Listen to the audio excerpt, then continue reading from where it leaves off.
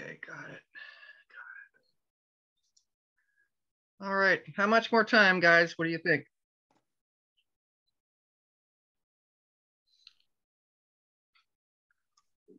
It is. I believe, I believe we should start. Get started. Okay. I want to welcome everyone tonight uh, to our uh, meeting and our special guest. I'm going to introduce our um, board so that you know who we are from uh, the uh, Society of St. John Chrysostom Youngstown Warren chapter. Um, we have our Vice President, Greg Ulrich. We have a, um, I'm the current president. We also have our former president, uh, I, I saw Socrates is on, and our treasurer is Rich Matusi. Our secretary is Ray Nakley. And we have Chaplain Father Boshko Stavyanovich. Uh, we also have uh, some of our, our, I see two of our, our, uh, okay. Board members. Oh, no, they're, they're all here. Our uh, Trustees. trustees, thanks, Rich. It's one of those days. Um, Thomas Batten, who is our also our Zoom host, which I'm so pleased and happy he can do that. Thank you so much. And we have uh, uh, Deacon Michael Stabila, and our other uh, other one is Chris Brocious. Uh, we really appreciate all of them. They do a good job. With that, we're going to dispense with a usual business meeting because I know everybody's busy and I would like to get right to the uh, guest speaker. With that, I'm going to ask Father uh, Sean Conboy to lead us in an opening prayer. Good evening. Welcome, Monsignor. Uh, join, joining me uh, behind me is our is pastoral council from the parish. So I will have to jump off early and and and, and meet with them. But I'm glad to be here, and we're whether they know it or not, we're glad to be here uh, for We're glad you're now. here. But, but please, uh, in the name of the Father and of the Son and of the Holy Spirit. Amen. Heavenly Father, we thank you for your many gifts to us, especially the gift of salvation which your Son has won for us. We ask you to continue to pour out your blessings upon us, especially your Holy Spirit, the Spirit that leads us into all truth, that leads us, that Spirit that leads us into unity. We ask that as we continue to work for greater unity amongst the uh, amongst Christians, that that our churches may be committed and be strengthened in their commitment to unity. We thank you for this opportunity this evening to reflect on, on, on the progress that has taken place. We ask you to bless our speaker uh, and, and we ask you to bless the, the future work that, that we commit to. We ask all of this through Christ our Lord. Amen. Uh, Father, uh, uh, that's Father Sean Conboy. He is the uh, diocesan Diocese of Youngstown's ecumenical officer. So we're so glad to have him uh, on board. With that, I'm going to ask Rich Matusi, who is our secretary and actually jack of all trades when it comes to this society and been around for quite a long time, a lot longer than me. I'm going to ask him to introduce our speaker. Thank you, Madam President. You're welcome. Uh, we are very blessed tonight to have the opportunity to hear someone who's been in the dialogue on the international level for for a while, a seasoned veteran, and we're, we're looking to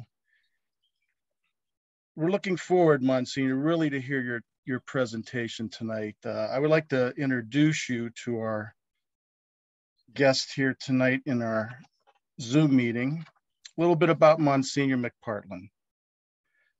Monsignor McPartlan is a priest of the Archdiocese of Westminster in the United Kingdom and the Carl J. Professor, Peter Professor of Systematic Theology and Ecumenism at the Catholic University of America in Washington, D.C.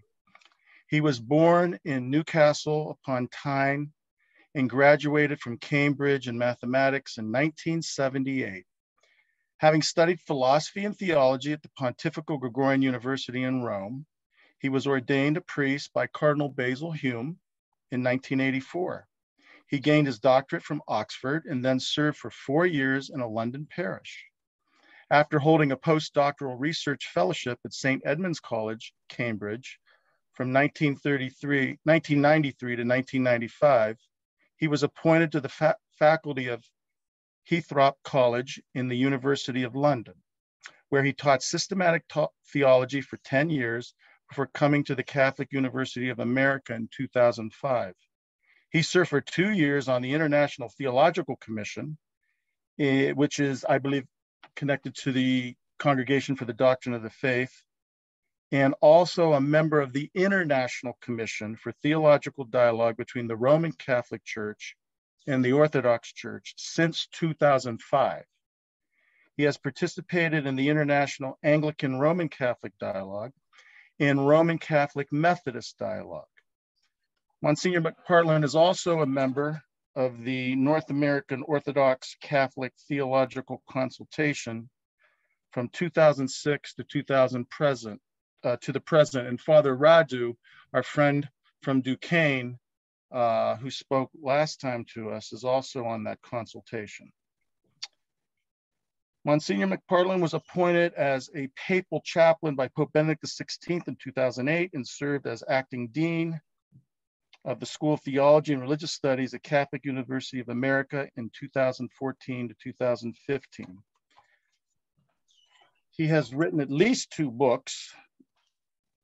The first book is The Eucharist Makes the Church, Henri de Lubac and John Zizioulas in Dialogue. And the other book is called The Sa uh, Sacrament of Salvation, An Introduction to Eucharistic Ecclesiology.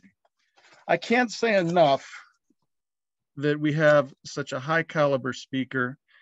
And Jack Figel has spoken very highly of you, Monsignor. And we followed some of the things of the International Commission on the uh, Internet over the years. So we welcome you here. We're blessed to have you. And without further ado, I give you Monsignor Paul McPartlan.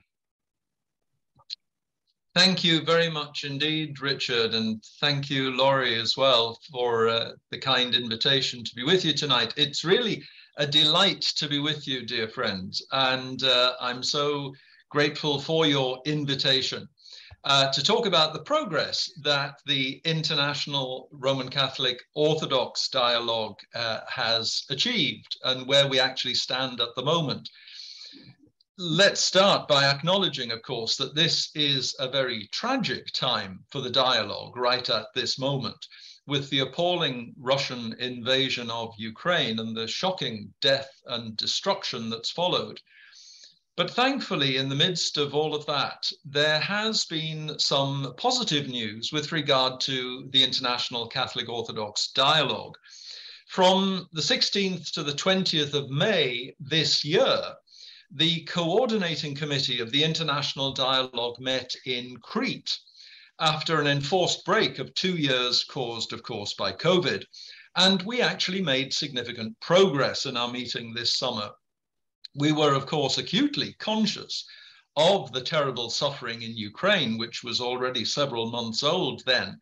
And the communique from the meeting said the following gravely concerned about the tragic war in Ukraine and the many victims and refugees, the members prayerfully invoked God's peace upon that country and its people.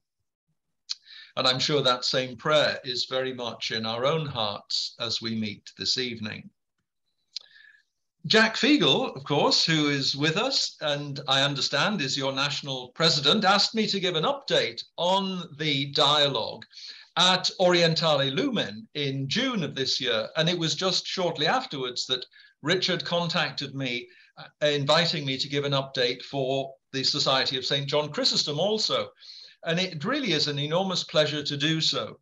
And with Richard's permission, and uh, I'm actually going to follow uh, quite closely the lines of what I said to Orientale Lumen earlier in the summer, just to get us up to speed, if you like, and I'm looking forward then very much to the discussion that we will have afterwards when we can unpack things further and take it in whatever direction you would like to, to explore. The strict business of the coordinating committee's meeting in May was clear, and happily we accomplished it. As the communique says, and I quote again, the committee completed the revision of the draft text entitled Primacy and Synodality in the Second Millennium and Today, to be presented to a plenary session of the Joint International Commission expected to take place in 2023. Well, in fact, the next plenary meeting has now been arranged to take place from May the 31st to June the 8th next year in Egypt as guests of the Patriarchate of Alexandria. And what I'd like to do this evening is really to let you know how we reached this point of preparing for another plenary meeting. And in particular, what the, to let you know what the dialogue has been doing since we completed the Chieti document in our last plenary meeting in 2016. That, of course, is our most recent agreed statement. But first of all, even before that, I'd like just to go back to the very start and briefly to recap the highlights, if you like, of the story up to Chieti. The formal international theological dialogue between Orthodox and Catholics, the so-called dialogue of truth, began in 1980, building upon the dialogue of charity, as it was rather beautifully called, that ecumenical patriarch Athenagoras and Pope Paul VI so memorably began in the 1960s as I'm sure you know, they first met on the Mount of Olives in Jerusalem in January of 1964. I mean, can you think of a more poignant place for leaders of a divided church to meet? And the Second Vatican Council's decree on ecumenism was promulgated later that same year, in November of 1964, making a very special mention of the relations between the Catholic Church and the Eastern churches. And just the following year, on the penultimate day of the council, on December the 7th, 1965, the mutual anathemas of 1054 were solemnly lifted, both in Rome and in Constantinople.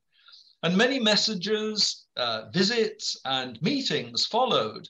And on the 10th anniversary of the lifting of the anathemas in 1975, when Pope Paul VI famously knelt to kiss the feet of the delegate of the ecumenical patriarch, it was now Demetrios, uh, the successor of Athenagoras in Rome, it was announced at that point in 1975 that commissions were now going to start to prepare the theological dialogue between the two churches. And so, as I said, the first formal meeting of that theological dialogue took place in Patmos and Rhodes in the summer of 1980. And on the 1st of June in 1980, the Commission formally adopted what was called a plan to set underway the theological dialogue between the Roman Catholic Church and the Orthodox Church. And that plan very wisely said, and I quote, that the dialogue should begin with the elements which unite the Orthodox and Roman Catholic churches and they specified this in no way means that it's desirable or even possible to avoid the problems which still divide the two churches. It only means that the dialogue should begin in a positive spirit and that this spirit should prevail when treating the problems which have accumulated during a separation lasting many centuries. Well, statements on the Eucharist, the Church, and the Trinity, 1982. Faith, Sacraments, and Ecclesial Unity, 1987. And Ordination, Apostolic Succession, and Sanctification, 1988. All followed very swiftly as a blessed and positive reminder of just how much we share. There was a reason, I think, for that uh, sequence of topics. The 1980 plan said at the very outset, and I quote, the purpose of the dialogue between the Roman Catholic Church and the Orthodox Church is the re-establishment of full communion between these two churches. This communion, it said, based on unity of faith, and we might note that phrase, based on unity of faith, according to the common experience and tradition of the early church, will find its expression in the common celebration of the Holy Eucharist. End of quote. And so basically, of course, we want to celebrate the Eucharist together again. That will be the sign and the seal of our full communion. That's what full communion actually means. If we're to do that, First of all, we must agree, obviously, on what the Eucharist itself actually is. And that was the purpose of the first statement in 1982. And then there are various conditions that are necessary for participation in the Eucharist, especially baptism and unity in faith. There's that phrase again. And the second statement of 1987 dealt with those topics. And then also, of course, the celebration of the Eucharist requires uh, ministers, bishops, and priests properly ordained in apostolic succession. And so the third statement of 1988 considered those matters. Now, you might say that the proper celebration of the Eucharist by the bishop and his presbyters in each local church actually requires two kinds of communion, vertical and horizontal, so to speak. Apostolic succession expresses the communion of the bishops vertically, as it were, through history. That bond has got to be clear and, and uh, established properly. And synodality, of course, a very, very much a buzzword in the Catholic Church at the moment, and a vital uh, word for the Christian East as well from uh, time immemorial. Synodality, or what Catholics would normally call collegiality, expresses the communion of bishops horizontally across the world today, if you like. And so a fourth document was planned dealing with that final point almost like the final piece of the jigsaw, you might say. The whole of that preparatory uh, process was focused on preparing the ground for us to celebrate the Eucharist together again. And a draft of that fourth document was prepared in 1990 as Eastern Europe was opening up after the fall of the Berlin Wall in 1989 and the collapse of communism that opening, as you know, led to a resurgence of life among the Catholic Eastern churches, many of which had been brutally repressed under communism. And the so-called issue, issue of uniatism, the fact that there are such Eastern Catholic churches and the methods by which they were formed, raised its head again. And as you know very well, the Eastern Orthodox churches have always objected to uniatism and they insisted at that point that that very issue go to the very top of the dialogue's agenda. And a statement on uniatism, firmly calling it the method of union of the past and contrasting it with the present search for full communion, as they said, was agreed at Balamand in 1993, but even that really didn't clear the air. And a very unproductive meeting was held at Baltimore in 2000. And then the dialogue really ground to a complete halt. Happily, it resumed in 2005 with two new co-presidents, that was Cardinal Walter Kasper and Metropolitan John Zizioulas, and many new members. And that's actually when I myself joined the dialogue and dear Metropolitan Kallistos, Ware of blessed memory also joined the dialogue at that point. And we had known each other for many years past uh, from Oxford days, in fact, when I was a student there doing my doctorate. Uh, and so the dialogue resumed in, in 2005 with a very much reconstituted commission, largely because of some significant gestures of charity uh, made by Pope John Paul in those intervening years just before his own death, of course.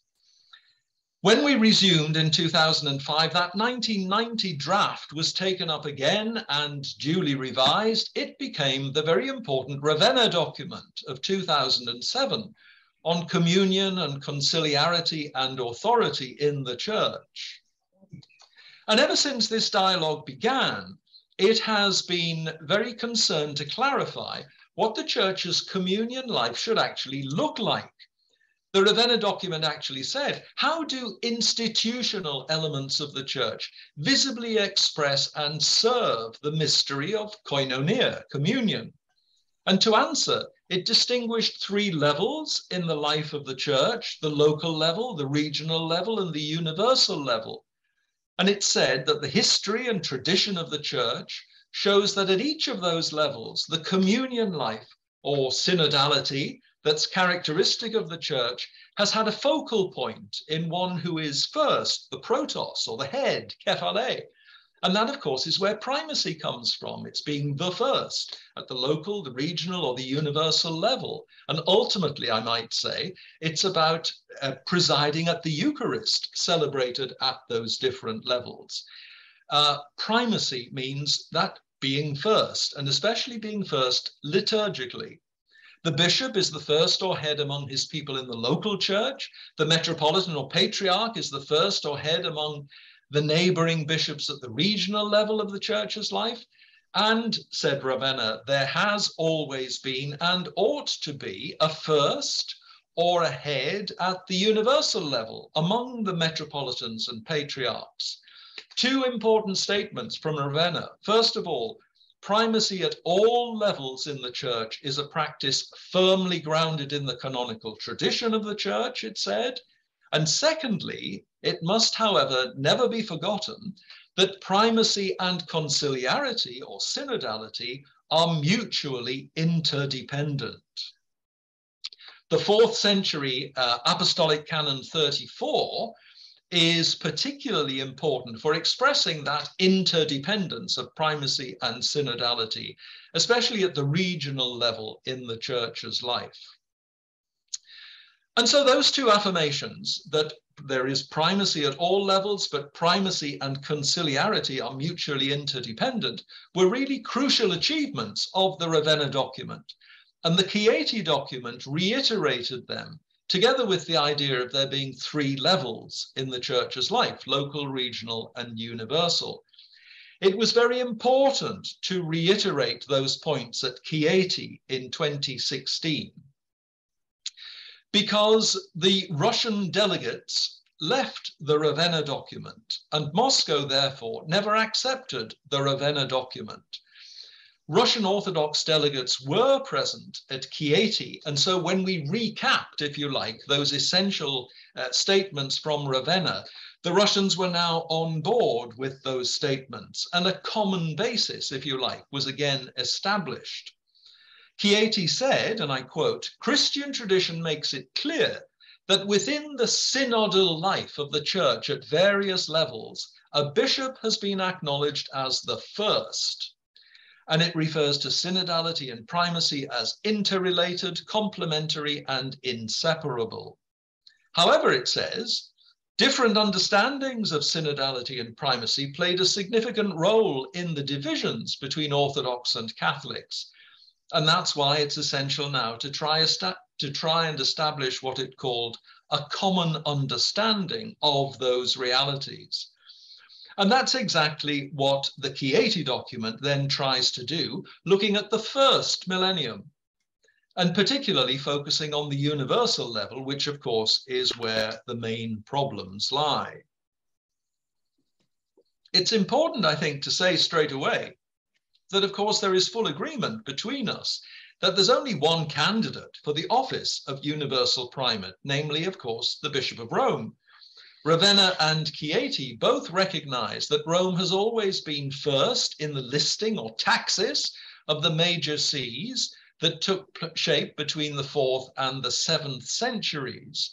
That listing, as you know, was Rome in first place, then Constantinople, Alexandria, Antioch, and Jerusalem in that order. And Chieti reproduces all the relevant canons in a long footnote. Rome, it says, exercised a primacy of honor, recalling a phrase used by the Council of Constantinople in 381.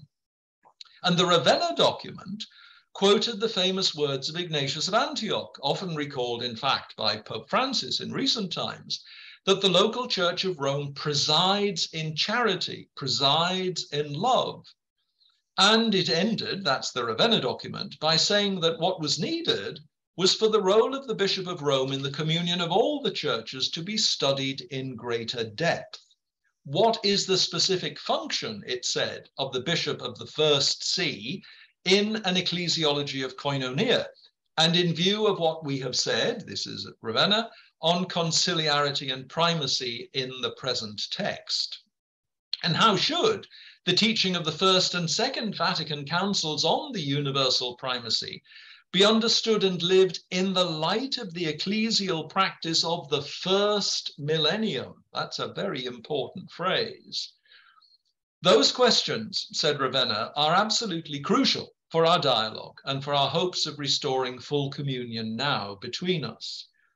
And especially with uh, that reference to the ecclesial practice of the first millennium in mind, I would like just to note that the um, in 1976 at Graz and in 2001 in his uh, correspondence with Metropolitan Damaskinos, Cardinal Ratzinger, very momentously, I always think, specifically said that those first millennium titles about the Bishop of Rome having a primacy of honor and the Church of Rome presiding in charity could suffice from a Catholic perspective to express the unique role of the Bishop of Rome as universal primate without stressing the idea of universal jurisdiction, which he says is a second millennium idea, and we should be, be quite happy to content ourselves with the phraseology that was used in the first millennium, which of course is the era that we look to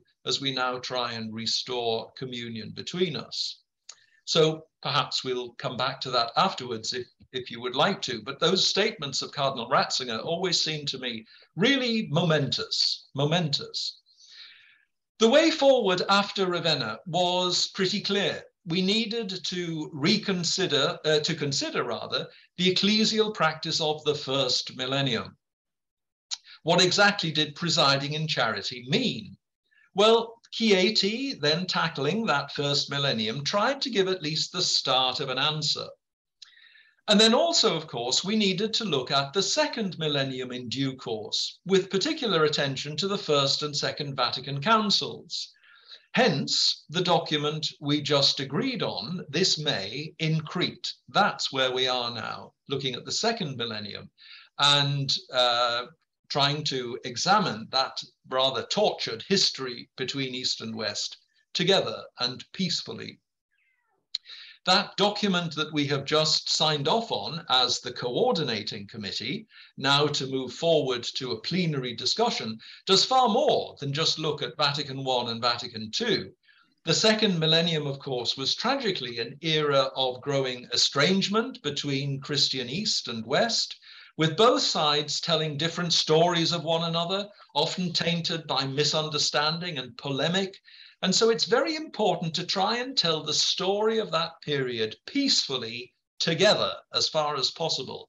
And that is actually our stated purpose in the new document to try and offer a common reading of the second millennium, explaining ourselves to one another along the way and trying to draw some lessons from that period. The document, of course, as, as, as you understand perfectly, is, is confidential until such time as a plenary of the dialogue actually approves it as we hope uh, might happen next summer in uh, Alexandria. And so, of course, I can't really go into detail about its contents, but I can, of course, give an indication of its basic purpose and outlook, and I'm more than happy to do so. It's a very constructive document, I think, which honors the directive of the 1980 plan that the dialogue should begin in a positive spirit, as we heard, and that that spirit should prevail when treating the problems that have accumulated in our long separation. The new document is the result of five years' work, or I suppose really three years' work, with an enforced delay then of two years. And interestingly, and I must mention this also, there is another document that's waiting in the wings, so to speak. And so, you know, how come how does it come about that we've actually got two documents on the go at the moment? Well, we need to backtrack just a little. In September of 2017, the coordinating committee met on the island of Leros, not very far from Patmos, to consider the way forward after the Chieti document, Chieti 2016. We met in 2017. Where do we go now? And we began by reconsidering that 1980 plan. You remember that the plan said that the goal was the re-establishment of full communion between Catholics and Orthodox based on unity of faith. And I highlighted that phrase earlier on, according to the common experience and tradition of the early church. Well, the Leros meeting decided, in fact, that the topic for the next stage of the dialogue should be towards unity in faith, theological and canonical issues and a subcommission to work on that was set up. And I was actually uh, appointed as the Catholic co-chair of the subcommission, and Metropolitan Gennadios of Sassima, also recently deceased, may God rest his soul, uh, was the Orthodox uh, co-chair of that subcommission. So the intention really of that enterprise was to identify and treat all the other issues that might be out there with regard to Catholic Orthodox reconciliation. You know, it's one thing to say that we need unity in faith so as to share the Eucharist again. But it's quite another thing actually to name the issues. Okay, so what are the issues that prevent or impede or give rise to any concern about unity in faith? Obviously, some of them pertain precisely to primacy and synodality in the second millennium. So Leros decided that we would establish a second subcommission to work on that topic, primacy and synodality in the second millennium, following on from Chieti, which dealt with the first millennium. And so, in fact, we left that meeting at Leros in 2017 with a very strong sense of purpose and two projects running side by side, which is something that the international dialogue has never done before. The classical methodology of the dialogue has in fact been to identify a topic that we wanted to work on and then to establish two different subcommissions to work on the same topic in different languages. And the coordinating committee ultimately decided how to integrate the two resulting reports into one document that would be considered then by the plenary.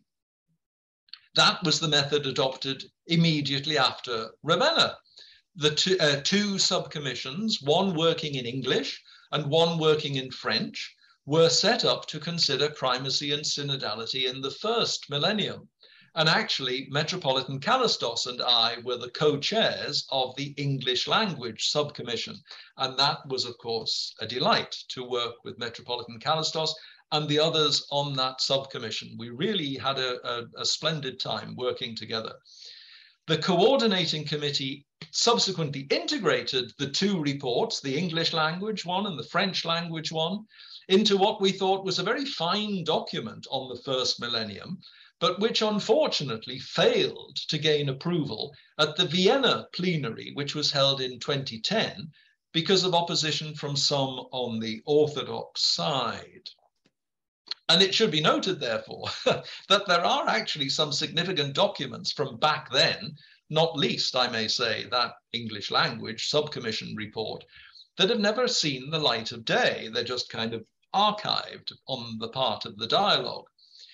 It was only after another unsuccessful plenary in Amman in Jordan in 2014 with a very different kind of document that we finally succeeded in producing a text on the first millennium at Chieti. It was third time lucky, if you like.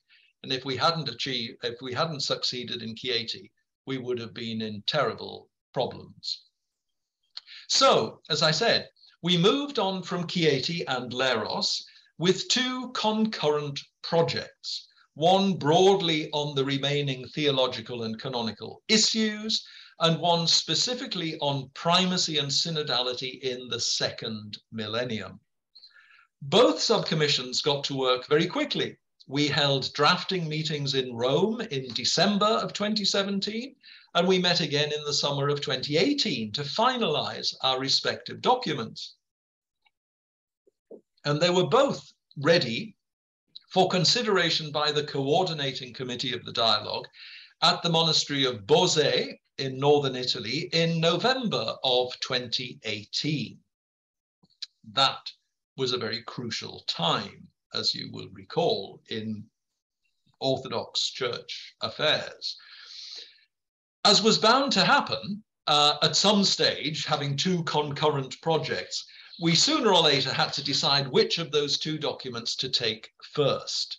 And for perfectly understandable reasons, the primacy and synodality document was given priority. Further work was done to refine it in the summer of 2019 and also in the fall of 2019, again at Beauvais. And then, of course, COVID struck. A plenary meeting of the dialogue can only really, I mean, being real, realistic, a plenary meeting can only handle one document at a time. And so we're now planning to take that document on primacy and synodality in the second millennium to the plenary meeting in Alexandria next summer. And as I say, we have another fine document just waiting for consideration in due course. I would note, and this is what I was saying about the fall of 2018, that Russian delegates were involved in both of the subcommissions that produced those two documents that are now waiting for consideration.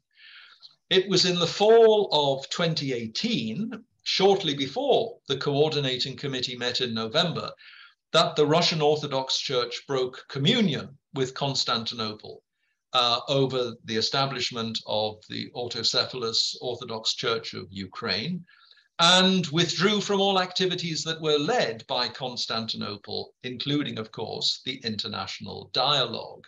And so it was at that stage that the Russian delegates withdrew from the dialogue, from the subcommissions, from all of our activities. Well, you might ask, what is in that other document I keep referring to? the one that's just waiting for consideration in due course.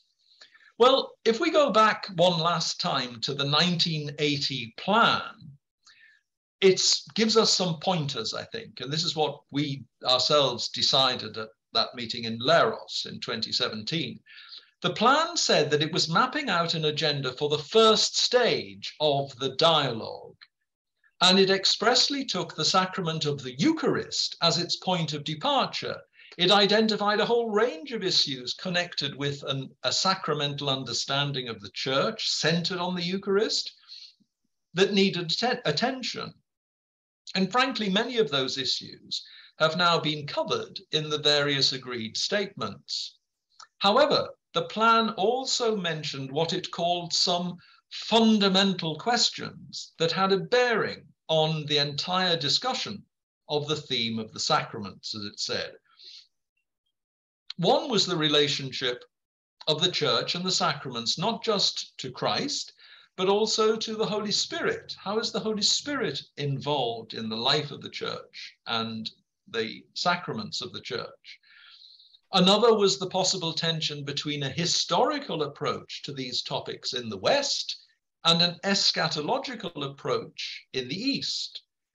And there was finally what it called the anthropological question namely how to understand the new creation brought about by the sacraments and the transformation of the natural and social and cosmic milieu of mankind. And so, if you like, already from that 1980 plan, there was the issue of the Holy Spirit, the issue of history and eschatology, and the issue of anthropology. These were the identified related questions, if you like. And the other document, the one I'm, uh, I've been referring to as dealing with, you know, the other issues to, uh, so that we can establish unity in faith, ventures precisely into those areas. It considers issues like original sin, purgatory, theosis, the development of doctrine, and of course, the filioque. So it's looking at um, anthropological issues, ecclesiological issues other than primacy and synodality, because there's far more to be said about the church than just that, and also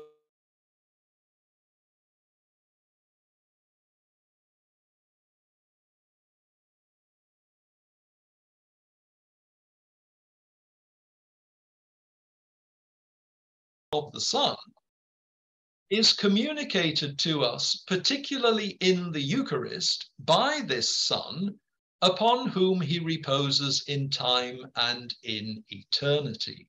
End of quote. I often think, looking at that quote from the 1982 document by the International Dialogue, whether anything further actually needs to be said about the filioque. That seems to cover all the bases. Anyway, in brief, therefore, that is, we're up to speed now. That's where the international dialogue stands at present. We hope that we might be able to agree that document on primacy and synodality in the second millennium and today when we meet in Alexandria next year. And there is that other very significant document ready to consider after that, which really aims to treat, as I said, all the other significant remaining issues that have a bearing on the unity of faith that we need to establish between us if we're going to have Eucharistic communion between Orthodox and Catholics. So in terms purely of texts, if you like, and tackling doctrinal and theological issues, it seems to me that the dialogue has made pretty good progress. However, and it's a big however, no dialogue exists in the abstract. Theological dialogue, we might say, is certainly necessary for the reconciliation of Catholics and Orthodox, but it is by no means sufficient. Ultimately, it's churches, communities of faith, that need to find reconciliation and need to want reconciliation. Not just their bishops and theologians, it's got to well up from the faithful in the churches. And the results of theological dialogue need to be received by the faithful in the churches. And an ongoing and ever deepening dialogue of charity between Orthodox and Catholics is also a sine qua non, undergirding everything, you might say, together with lots of prayer on both sides for the gift of unity. All of that is necessary. Uh, above and beyond simply theological dialogue, if we're going to have any prospect of reaching the blessed day when we receive Holy Communion together again. Charity absolutely has to be the foundation of our search for unity. And charity, of course, is the first precept of Christianity. It's a dogmatic uh, subject. It's not just a sort of pastoral attitude, if you like the Lord himself said, love one another as I have loved you. That's the very first precept dogmatically of Christianity. And I'd like to close just these uh, reflections uh, this evening with a couple of quotations from ecumenical pioneers, one Catholic and one Orthodox, who, it seems to me, express that profound truth of the importance of charity in very compelling ways. Um, the first one is Father Paul Couturier, uh, the pioneer of what's often called spiritual ecumenism, the founder, of course, of the Week of Prayer for Christian Unity in France in the 1930s, in Lyon uh, specifically. He was drawn into ecumenism through working with Russian refugees in France in the 1920s.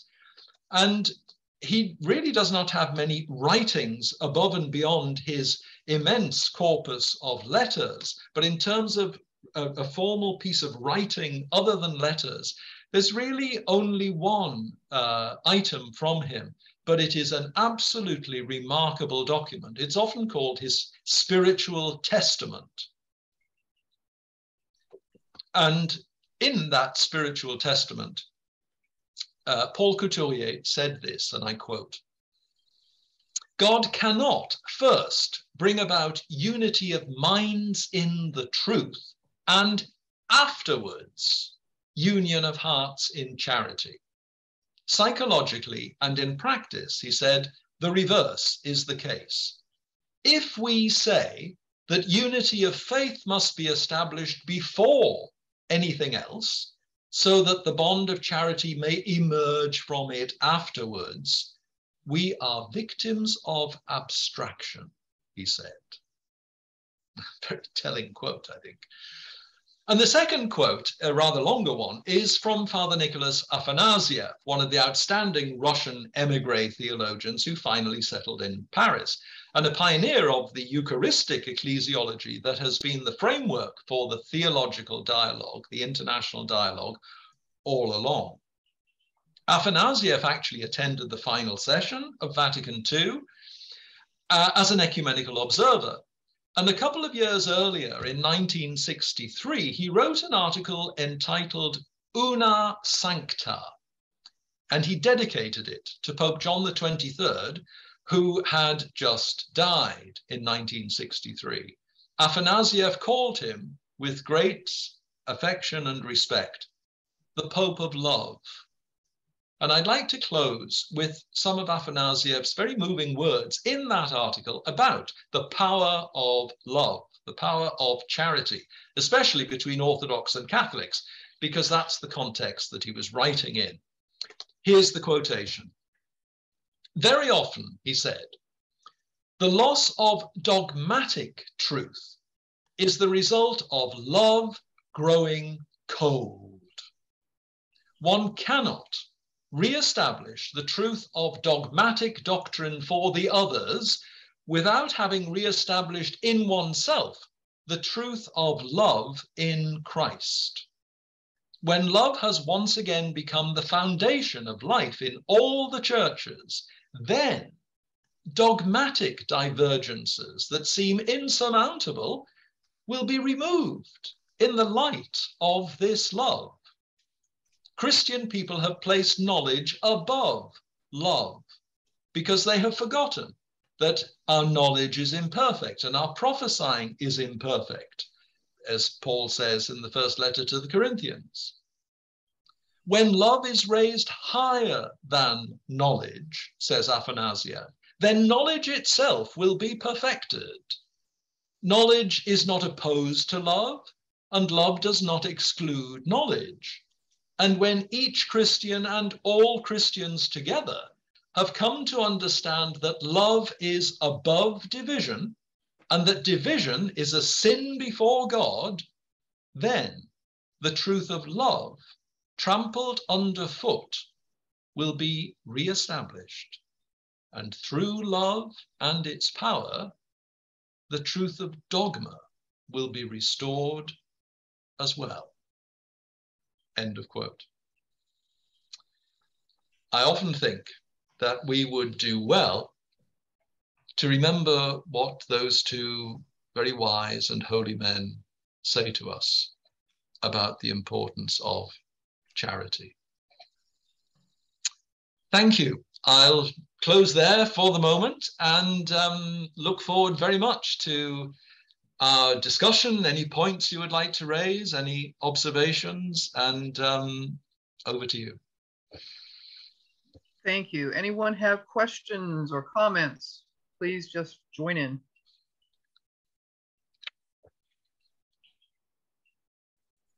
Monsignor McPartlan, I was wondering uh, when you meet in Alexandria, Egypt in 2023, could you explain to us if it is acceptable in the plenary session, how it goes back to the other churches to be confirmed or validated in some sense? This this is a great point, Richard. Thank you. The um, the I ought to explain that the what are the sort of dimensions that we're talking about. The the plenary commission consists of two delegates from each of the autocephalous Orthodox churches. So, of course, until now, that's been 14, which means 28 delegates. And then the Catholic side appoints 28 delegates to, to, to, balance. But of course, the Catholic side is, if you like, one delegation of 28 people, whereas the Orthodox side is like 14 or possibly 15 now, um, mini delegations of two. And the um, it is, and, and I ought to say then that this coordinating committee I've been referring to is, of course, a smaller body which kind of deals with matters in between plenary meetings. And so the coordinating committee consists of about eight or nine from each side. So we're talking about 15, 20 people um, in the coordinating committee. But um, it's the plenary committee that is the commission that's in charge of the dialogue. And, um, and so, um, you know, we will discuss the, the document and like we did at Ravenna and Chieti. And of course, if we come to agreement around the table there, that in itself is always something to celebrate. I remember uh, vividly how we how we all applauded and had an immense sense of joy in Ravenna in 2007 and in Chieti in 2016 when we had agreed around the table. But as you rightly say, that's not the end of the story because the document then really has to be taken back to the respective churches. And the Orthodox always, um, you know, take this document back all those to all of the different autocephalous churches. And so really the, the document of itself has no status, even if we all agree around the table at the plenary, um, until it is ratified by the different church bodies. And um, the different Orthodox churches have their own procedures. Often the document would be taken back and considered by the Holy Synod in those uh, different churches in various different ways. Uh, the Catholic Church, what do we do? Well, it, it, it's not terribly clear, actually. Um, it, it, it's taken back to Rome, and of course, it's shared with the the um, the dicastery, as we must now say, for the doctrine of the faith, the DDF, not the CDF, and um, and you know, obviously, it, it's it's it's shared around, and and people get to know it. Um, there isn't really a formal process of ratifying on the Catholic side. There would be more possibility of a formal ratification among the, the Orthodox churches. But um, I think what you would say really is that, you know, uh, what the plenary does, and if and when the plenary reaches agreement, that's the beginning of a process. It's not the end of a process. And really, the documents then have got to be received and they've got to be talked about, they've got to be discussed, they've, you know, all sorts has got to happen so that they really enter the bloodstream of both sides and hopefully promote better relations. Um, I like that image of entering into the bloodstream or the consciousness of both sides. It seems like the whole process itself is an exercise in synodality accompaniment and walking together. It is really, you know, I mean, that that in itself, of course, is the basic, you know, matrix of the church's life. And and we we we walk together and the church is a communion and it's communion that has been tragically fractured between east and west and you know we're trying to repair that communion and and this of course is why charity is at the very basis of everything because charity is the fundamental bond of communion. And, um, you know, faith, I would say, and I think Couturier and Afanasiev would say, you know, the bond of faith actually is within the bond of charity. Um, Please, someone else. Thank you, uh, Monsignor. Uh, Monsignor, this is this is Steve. I was wondering if you could um, say a few words about the um, the participation role or whatever you would want to characterize it of the other autocephalous churches, those are that are Catholic and in union with Rome. Um, and obviously, originally, you know, they had no role at all in these dialogues, but I understand that it's been evolving over time. And do you have any comments on that? Uh, thank you very much, Steve. This is a very important question. Of course, the, these, in other words, the, the Catholic Eastern churches, the, the, um, they are very much part of the dialogue and always have been in certainly since um, 2005 when when I joined the dialogue. So um, you know that it it it is very natural and very important to to have them there and um, you know they fully participate and in my time you know that is that has simply been taken for for for granted. You know that, and and therefore. Um, there may well have been, I'm sure there must have been, um, you know, discussion about that at the very start of the dialogue back in 1980.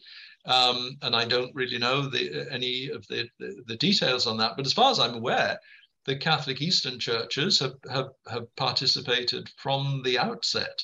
In fact, one of the one of the veterans of the dialogue is Monsignor Eleuterio Fortino, um, who uh, uh was um, I think he was the number three actually in the in the uh, Pontifical Council and a, a very long-standing um, Eastern Catholic member of the dialogue himself and a much loved man who sadly died a few years ago now. But you know, Monsignor Fortino was always a, a fundamental kind of reference point, and uh, and so yes, the dialogue has several members on the Catholic side from the Catholic Eastern churches.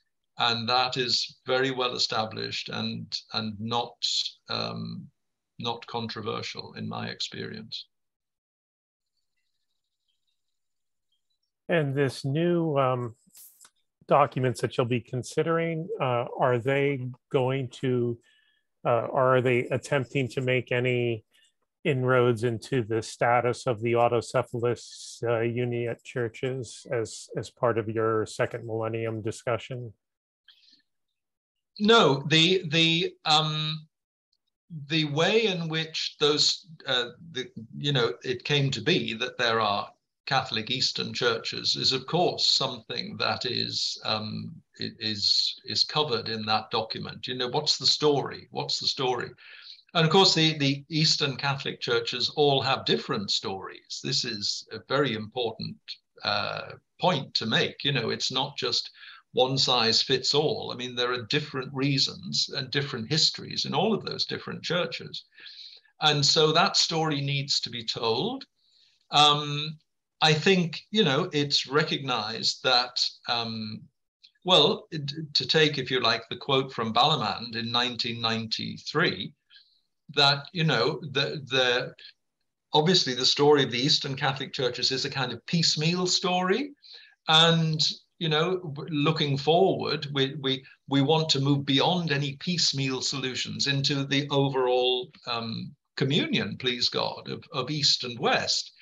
So, you know, it's certainly not a sort of continuation of the, the, the methodology that led to the Eastern Catholic churches. Uh, we've, we've, if you like, um, you know, definitely put that methodology to one side. We're not looking at any piecemeal progress. We're looking at the totality. But very important in the midst of that is that the Catholic Eastern churches themselves are not to be set aside. Their own history and dignity is, you know, must be respected. And they are absolutely entitled to to to to continue and to to to be respected.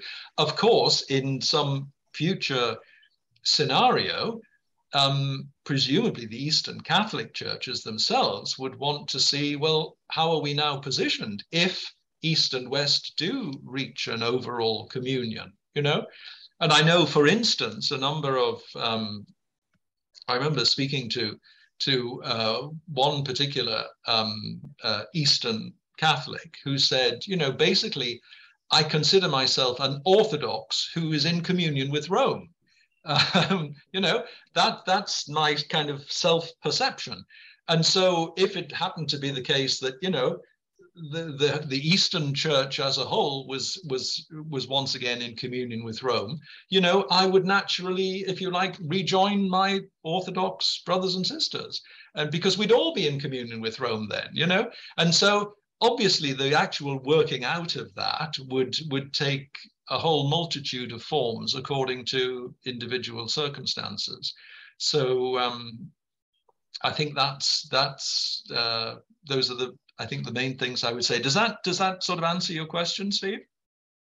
Yeah, it's it's it's getting toward it. I I think uh, you're putting the finger on the the thing that I'm trying to see how far apart things are. I mean, obviously, the uh, I guess the follow up on that is how does the situation between Moscow and Constantinople uh, complicate you know that process, especially in in Eastern Europe?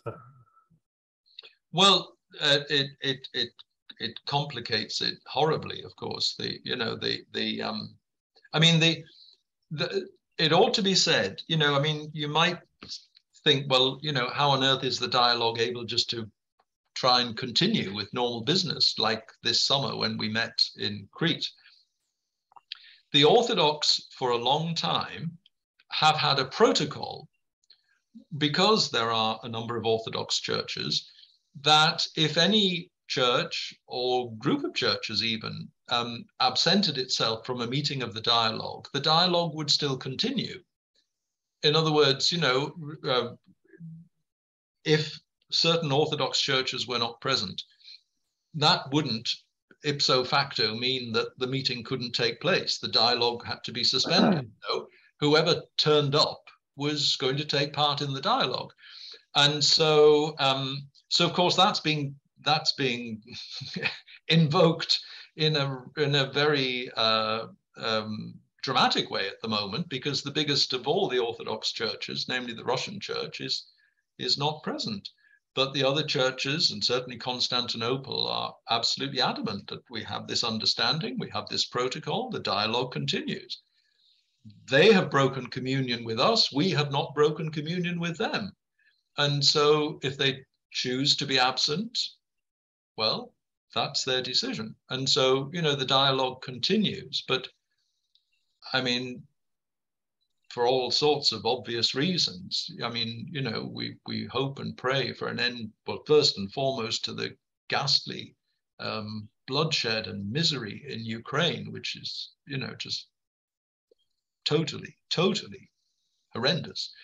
And uh, and then just for you know for peace in the church and and and uh, surely you know I mean in the 20th century it's worth noting I think that you know, what gave the ecumenic, the whole ecumenical movement a great impetus in the 20th century was um, two successive world wars, you know, which caused the, Christ, the divided Christian churches a real kind of heart searching to say, you know, have we so failed to, to preach the gospel of peace and reconciliation that after 2000 years, the world can still tear itself apart like this, you know?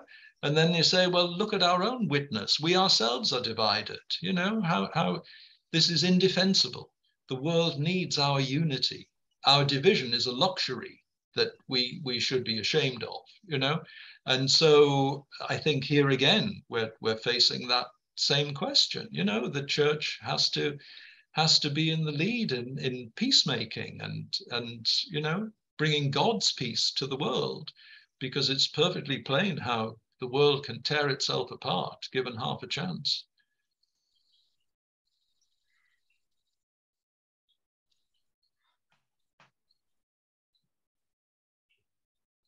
Senior, um, oh. Hi, Megan.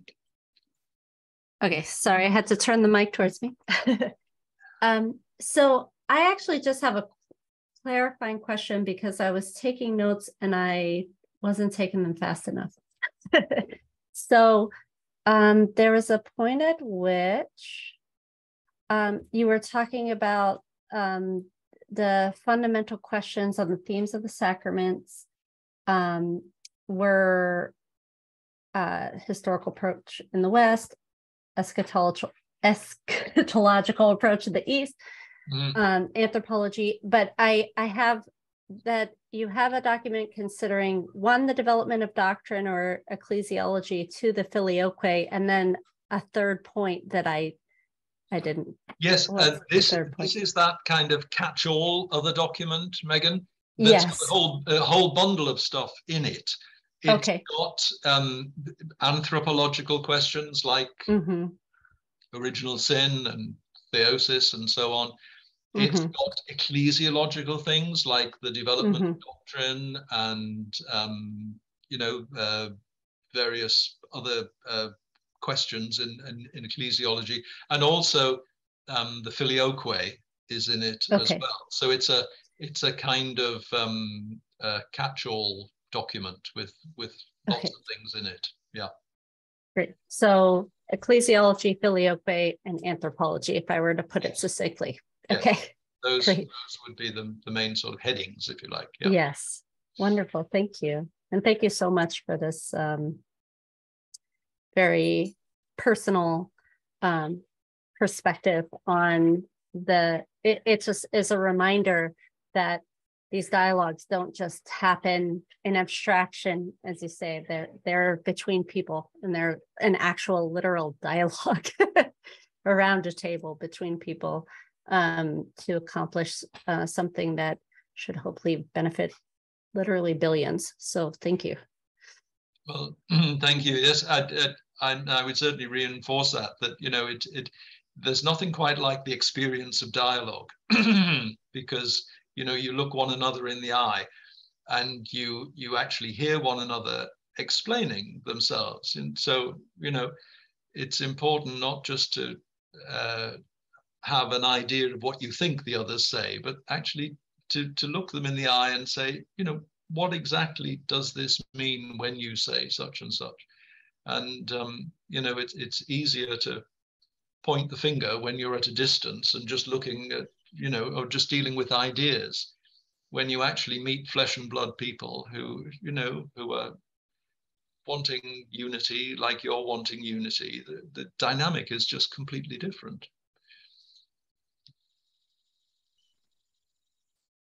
Thank you.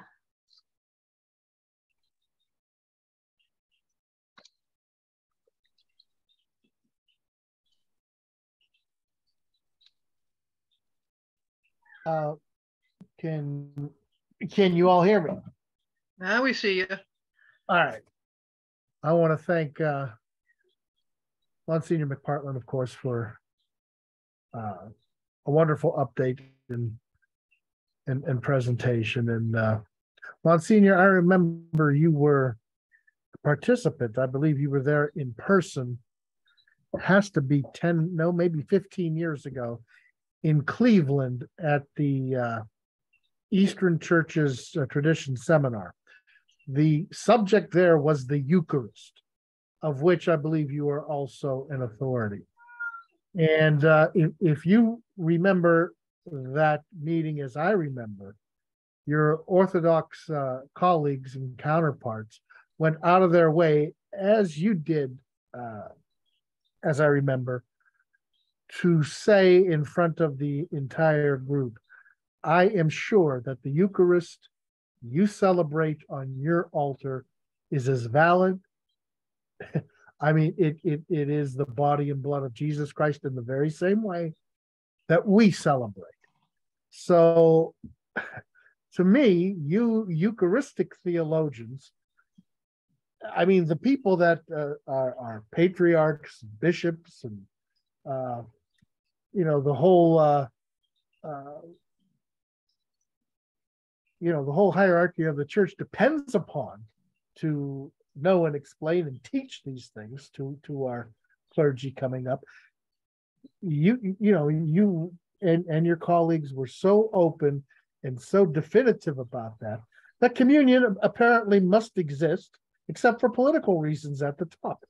So if it's not a theological barrier uh and i and, and i know you did uh, indicate this and touch on this. And I hope, uh, Lori, we do end the meeting with our uh, our society's prayer, which also touches on many of the very issues that uh, Monsignor's brought up, most especially our lack of charity, which is a scandal, a scandal in this church.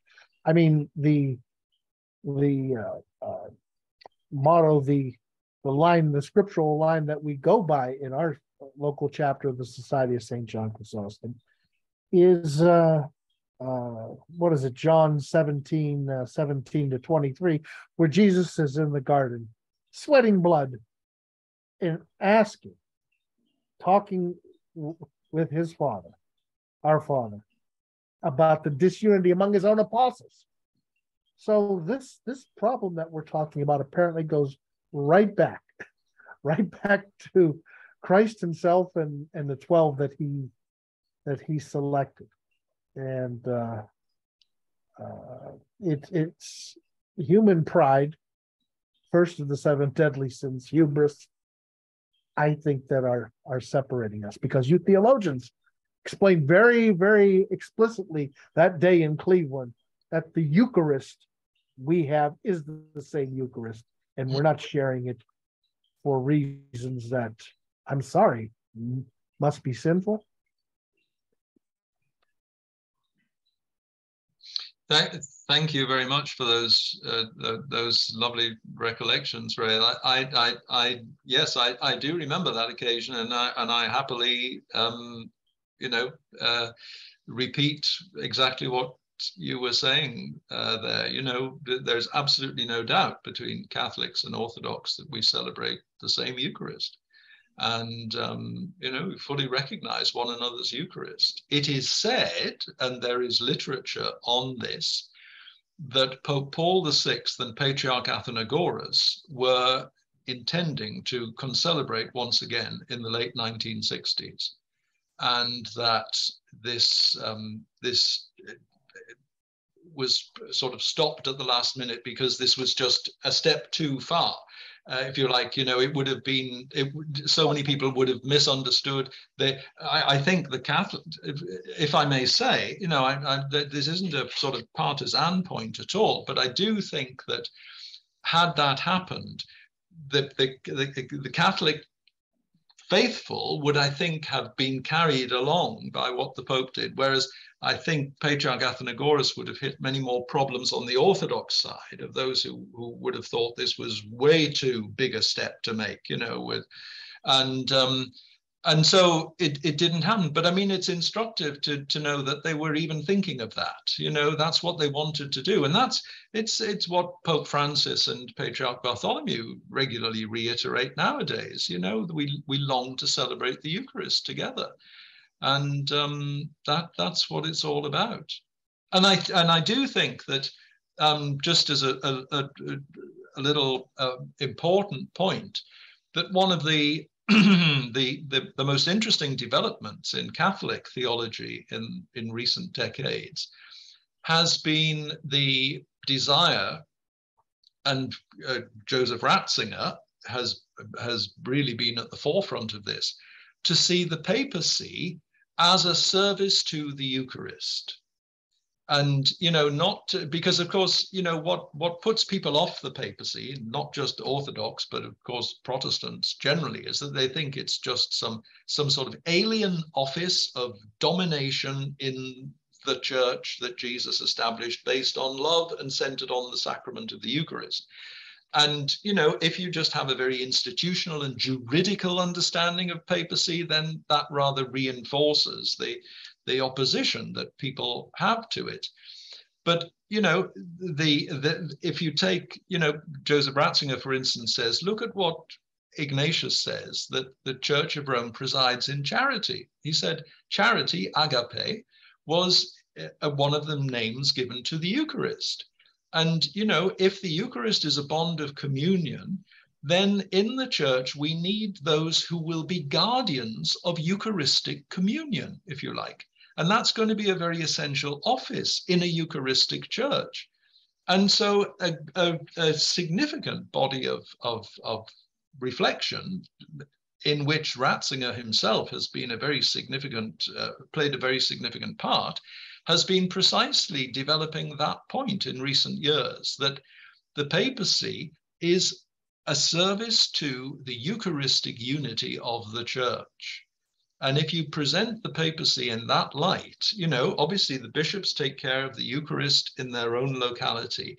And but then who's looking after the universal communion which comes from the Eucharist? Well, you know, the Pope as servant of the Eucharistic unity of the universal church, if you like, um, if you speak about the papacy in that way, linking it to the Eucharist, then all sorts of ecumenical doors open because, you know, especially between Catholics and Orthodox, because we recognize the Eucharist that we celebrate. We want to have Eucharistic unity. And if the Pope is, is presented as somebody who's basically at the service of Eucharistic unity, then, you know, uh, discussion about his role becomes much more feasible than if he's just seen as some kind of, um, you know, governing figure at the top of a pyramidal church, which the Orthodox don't want anything to do with. Uh, one one other comment, uh, uh, another recollection, and Rich and, and some of the longtime members of uh, our Youngstown Warren chapter, our our patron, uh, uh, Bishop uh, Botean, John John Michael Botean, uh, very very reflective, very bold man in in many ways.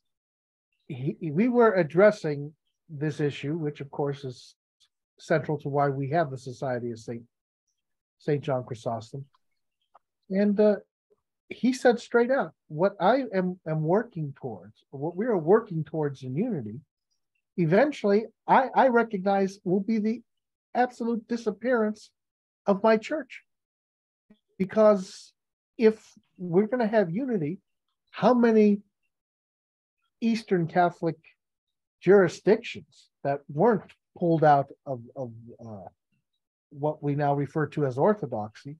I mean, if, if we're going to have true unity, what would be the purpose for the Romanian Eastern Catholic, Byzantine Catholic Church, the Romanian Orthodox Church? Now, I, I happen to be a Maronite, so we don't have a counterpart. I, Yeah. I joke say we we we we killed them off uh, 1400 years ago. I but uh, you know for for some reason of history and as you said each church is unique. Each church is different. Yeah. perhaps the italo albanians don't don't uh, ha- have a counterpart as well. But every other church uh, that's where the term uniatism comes in. They were disunited uh, from uh, constantinople and, and, and attached to rome. So I, I don't know. Do you have a you have a comment uh, along along those lines. Would most of these churches, which you were just uh, mentioning, and and again, we're here, here in politics, would they logically, naturally, eventually have to disappear? Well, I, I, I, I, and incidentally, I, I mentioned Monsignor Fortino before, but he was precisely belonged to the Italo-Albanian uh, church, and um, I, I, I, I wouldn't want to say that they would have to disappear with the sort of imperative there.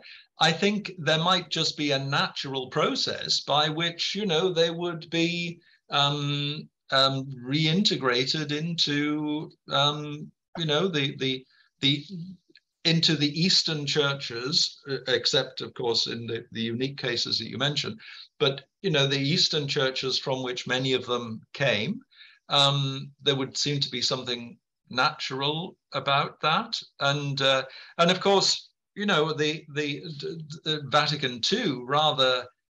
Um, I mean, it didn't specifically say that, but it sort of looked in that direction because you know the uh, on the same day in 1964, the 21st of um, November, the um, three documents came out: Lumen Gentium on the church, Unitatis Redintegratio, the decree on ecumenism, but also Orientalium Ecclesiarum on the Catholic Eastern churches, and that document uh, specifically said, you know, that all of these provisions for the Catholic Eastern churches, you know, uh, are in place until such time as, um, you know, communion will be restored, we please God, between East and West. And then, you know, um, obviously a different dynamic would take over then. And, and um, the situation would be, you know, there, there would probably be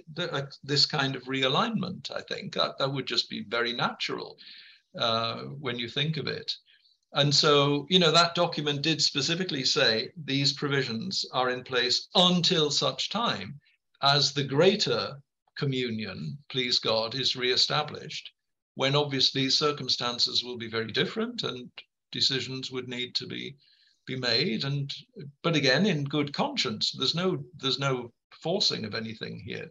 It's what would be natural and how would people find that they were, you know, living their, their religious life in the way that they wanted to live it. If I may say, forgive me giving a, um, a, a, a, plug at this moment. But it, when I mentioned that, as, you might have gathered, you know, I'm rather keen on this Eucharistic approach to primacy because I think it opens all sorts of doors. And it's been very remarkable as a development in recent times. But I wrote a little book a few years back, and if I can just sort of uh, show you it, it's called A Service of Love. And you see the subtitle, Papal Primacy the Eucharist and church unity. But it's um, it's uh, it was published by our Catholic University of America Press. But um, and I did a I did a postscript. Uh, it first came out in 2013, which of course is when Pope Francis was elected.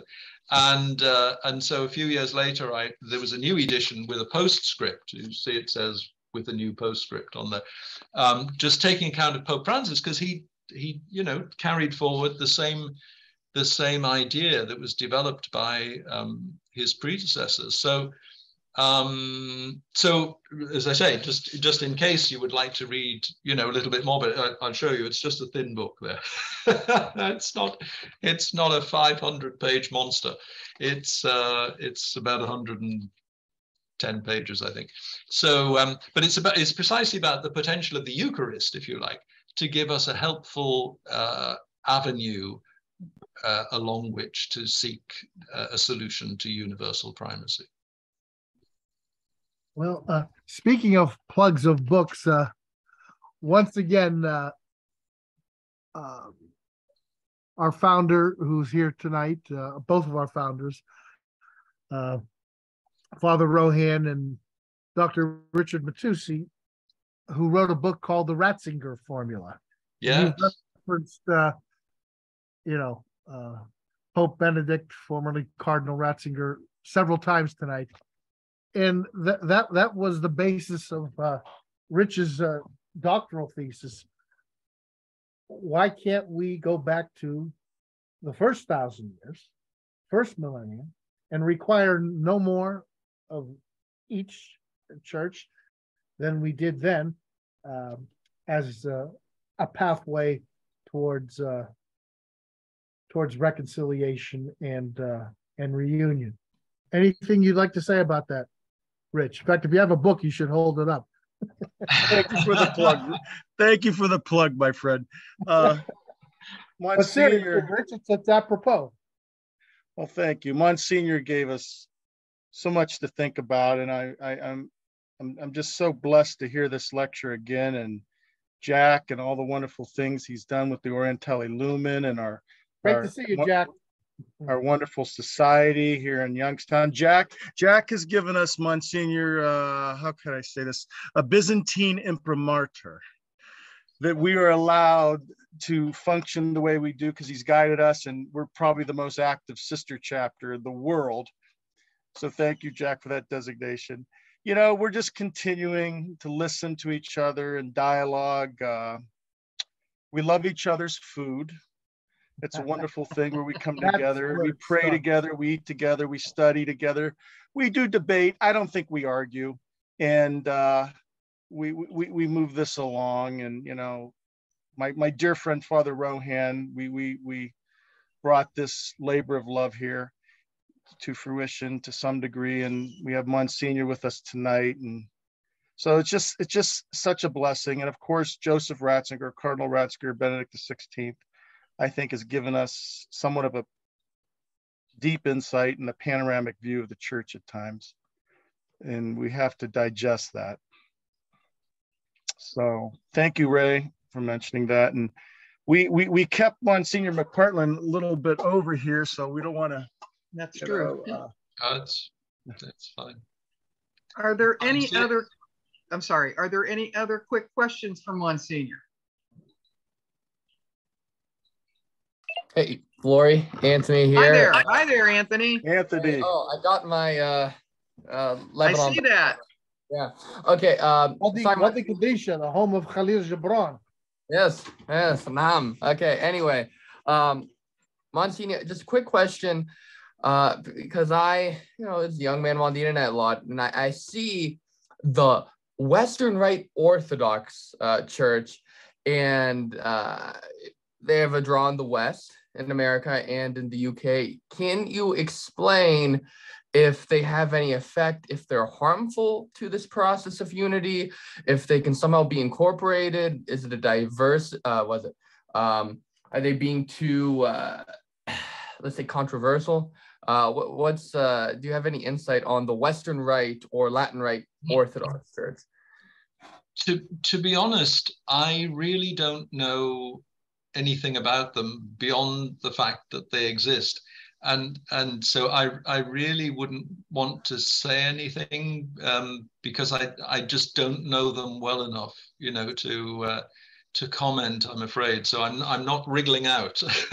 I'm just saying that that I I you know it, it's uh, it wouldn't be fair of me really to say anything because I I just don't know them um, well enough. I mean, do do do you know them yourself? Clearly. Uh, well, I don't know if Father Rohan knows this. I know many of the parishes are under the uh, Antiochian Church, that they have some special I mean, this is, of course, using a Catholic term, an ordinariate, just as you have the Anglican ordinariate, but in the Orthodox world. So they are a very small group.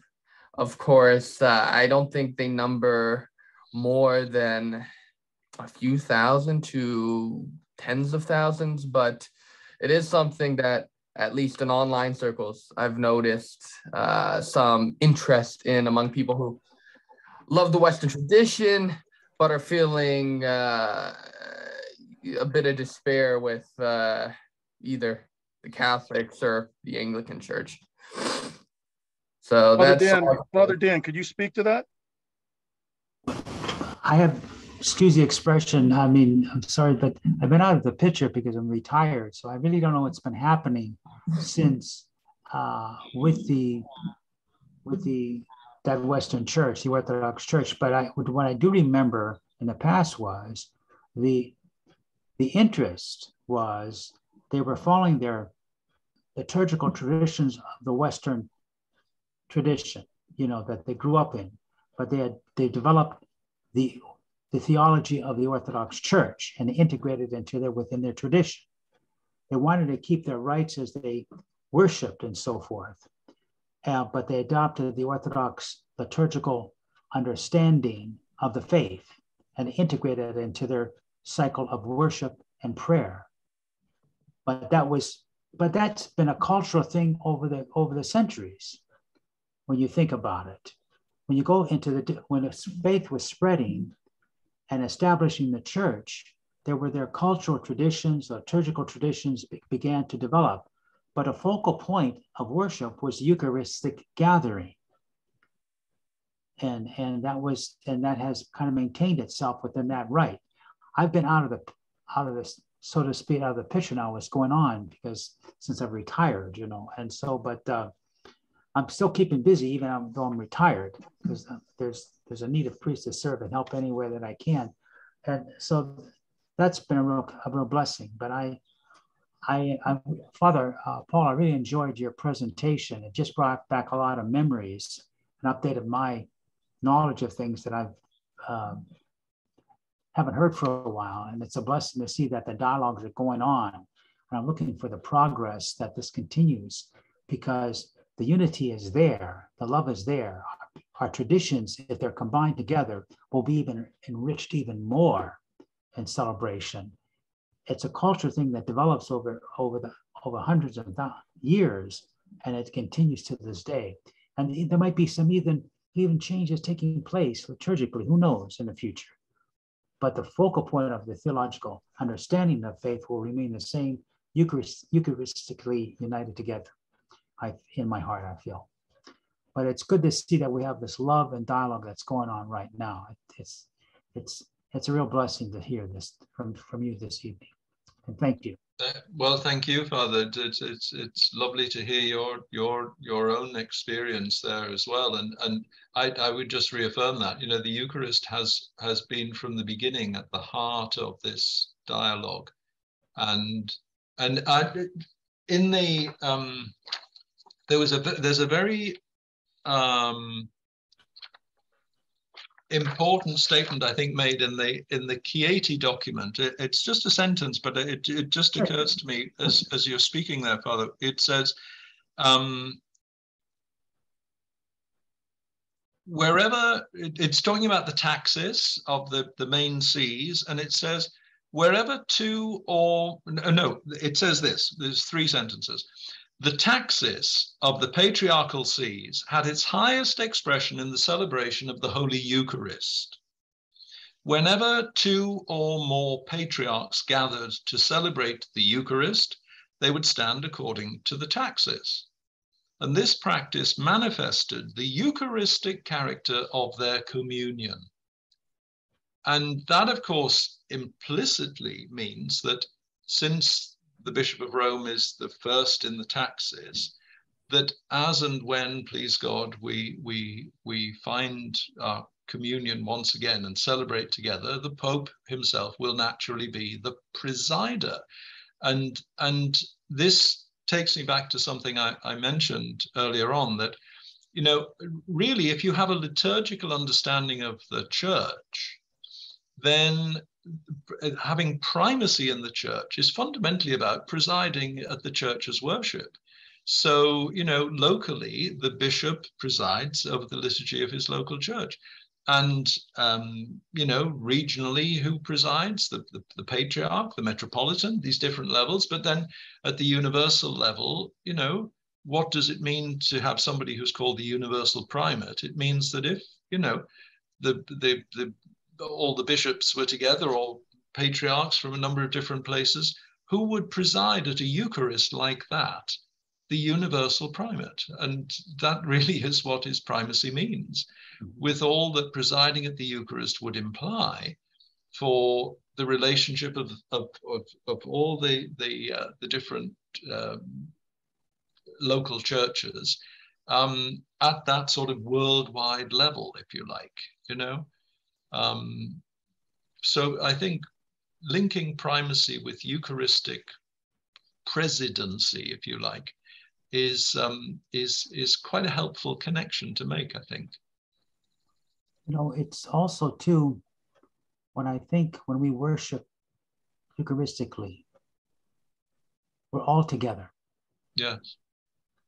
You know, yes, there's a primacy and so forth, but when we come together, we're one family.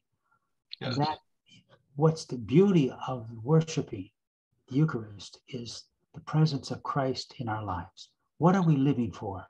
The foundation of true love has been given to us through Christ and he wants to keep that unity together. How do we keep this love relationship going? Is celebrating with him. When we celebrate, he is with us, he's present with us. The heavenly presence is there. That's all we're looking for. That's what our life is all about. Our first love is to love Christ. And from that point on, he gives us the, the guidance and directs us and ministers to us in, in certain ways so that his presence may be known in all aspects of our ministry for each other. So may the love of Christ continue to be with us as we celebrate the Eucharistic our love for each other. In the Father, Son, Holy Spirit, Amen. Thank you, Lord. Amen. Thank you. Thank you. I know it's getting late for everyone, and Monsignor, uh, we really appreciate you. Are there any other quick questions so Monsignor can uh, rest tonight? Uh, again, Lori, I will volunteer to end the meeting with our. I, um, excuse uh, me, Ray. Unless you'd rather not, it's up to you. I, I was going to ask Father Rohan to uh, grace us with his prayer, if he would. Father Rohan, did you hear me? My request. I'm so sorry to put you on the spot. Always put me on the spot.